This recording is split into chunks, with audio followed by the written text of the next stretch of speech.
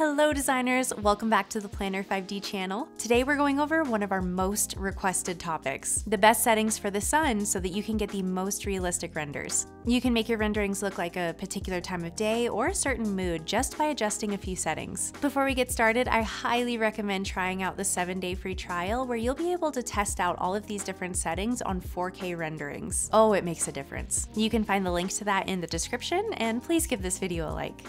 First, I want to quickly walk you through how the sun controls work. The sun position controls where the direction of the light will come from. So if this is the front of the house, the light will shine from this direction.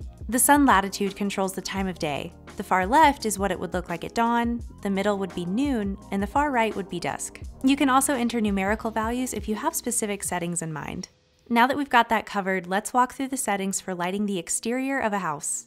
When you go to render your project, the sun will be turned on by default. Keep in mind that the default settings will render to look like early morning, which may be too dark for your project if you don't have exterior lighting. So to fix that, you can play around with the different controls to fit the time of day you would like to see in your renderings. See how the light is hitting the front of the house as if the sun is rising from that direction? You'll notice in the next render that the sun is directly overhead, which will completely change the shadows. This just goes to show that small adjustments in the sun settings can make a huge difference. And don't be alarmed that you can't see the shadows while configuring your settings. They'll appear in the final render.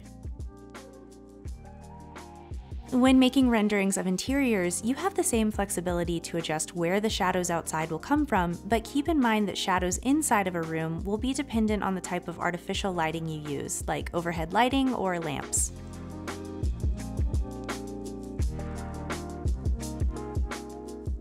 If you have a room and you aren't planning on showing the roof, you have so many different options for lighting. Each setting will allow you to show off shadows in different parts of the room depending on your preferences.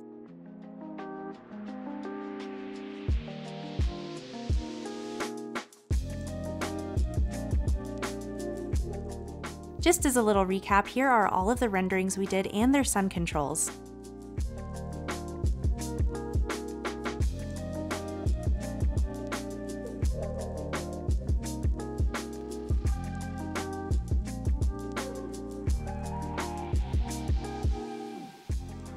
Super easy to do, right? Let us know in the comments if you prefer soft, warm lighting or dynamic, high contrast lighting. Don't forget to check out the 7-day free trial where you'll have unlimited 4K renderings and access to a bunch of other tools. As always, thank you so much for watching and I'll see you next time. Bye.